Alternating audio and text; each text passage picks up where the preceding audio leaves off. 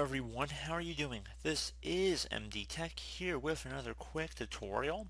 In today's tutorial, I'm going to show you guys how to hopefully go about resolving if you're coming across an accelerometer DLL is missing or not found error. Reinstalling the program may fix the problem. So this should hopefully go about fixing the issue without too much of a problem here. And this has to do with the Hewlett-Packard or HP 3D drive guard. So we're going to go and start by opening up our web browser, doesn't matter which one. I'm going to have a link in the description of the video directly to an HP website that you see in the URL of my screen right now. And you're going to hit enter. This is going to be a direct download from their site. So it's about 30 megabytes, so just please be patient. It will take a couple moments to download.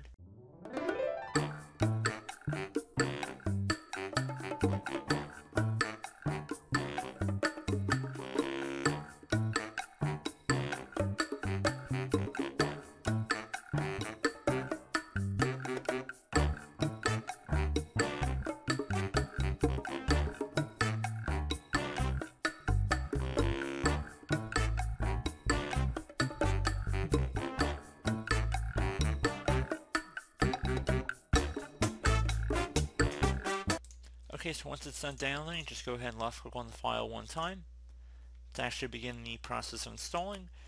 If you receive a user account control prompt, make sure it's a verified publisher, Hewlett Packard Company, should say HP 3D Drive Guard.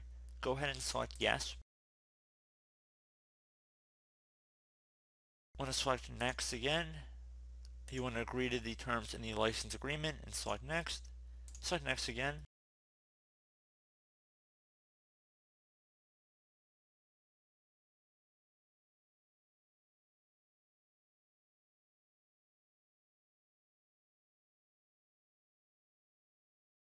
So in my case, I'm not actually running a Hewlett-Packard system. That's why it's not saying it's supported.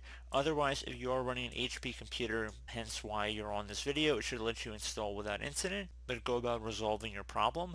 Another thing you can try would be if you're still having a problem here, we're going to select finish because this is not going to work in my case, so I'm going to click on finish, but hopefully it would be able to resolve your problem.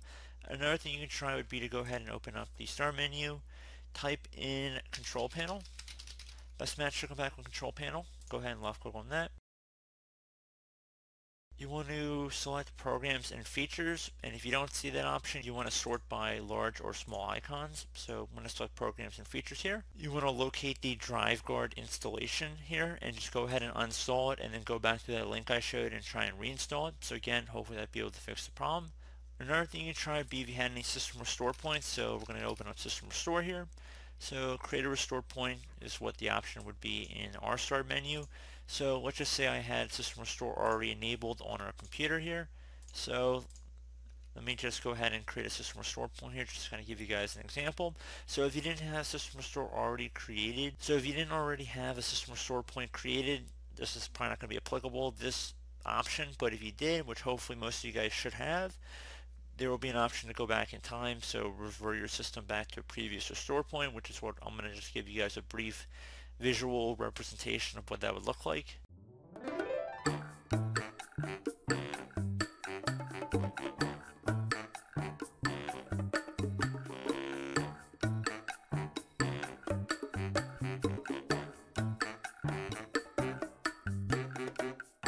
So once your system restore point is created, if you have one already made, we're going to select the system restore button here.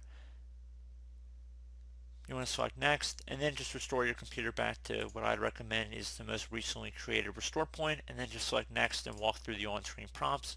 So again, pretty straightforward, just offering you guys another alternative method about hopefully resolving the issue. So I do hope that this brief tutorial was able to help you guys out and as always thank you for watching and I do look forward to catching you all in the next tutorial.